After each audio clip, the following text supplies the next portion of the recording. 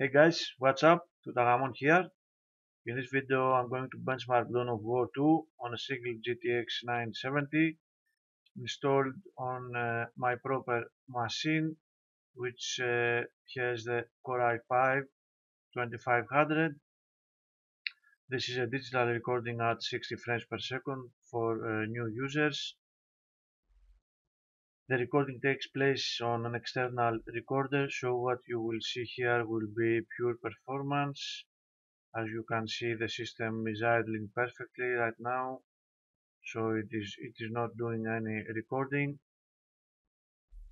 I'm using my Core i5 2500 running at 4 gigahertz, 4.8 gigahertz, sorry.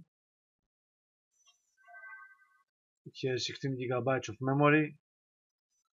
And the graphics card is a GTX 970 gigabyte G1 running at these clocks. But the real boost is 1.5 gigahertz. We will see that at the end of the video.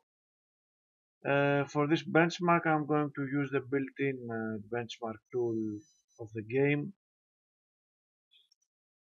so I don't need fraps for monitoring only for uh, OSD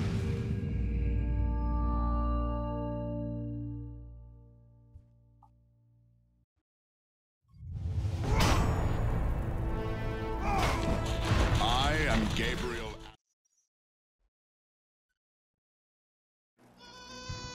okay let's go directly to the options graphics okay I'm using the ultra preset 1080p resolution okay and I'm starting the test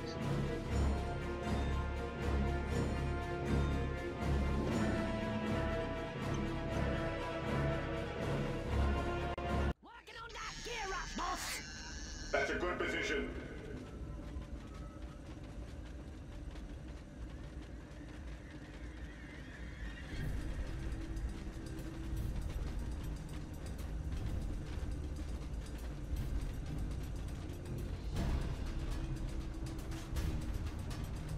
Making for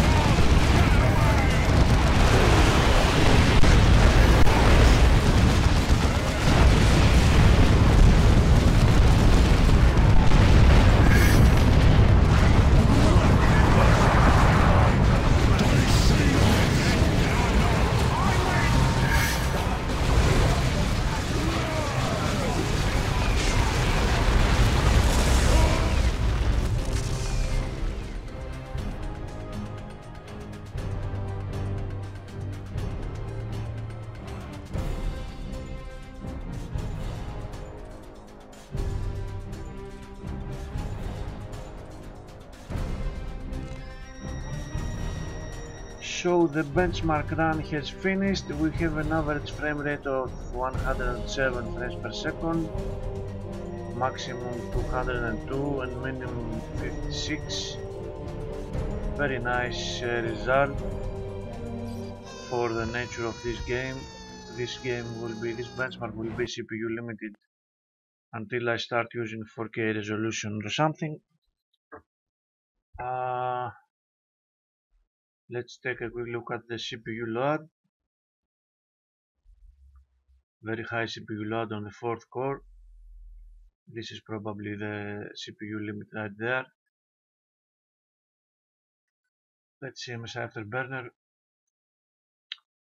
The benchmark starts with very high frame rate and gradually drops to around 60 and a little bit lower but still very close to 60 all the time even in this big battle. GPU usage of course is far from uh, being at maximum.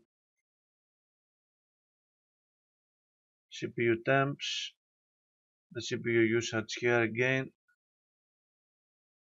We see that, uh, that there are some uh, very high spikes high load spikes RAM usage is at 4.5 gigabytes at its maximum. The power of the card reached a little above 70%. CPU temps very low.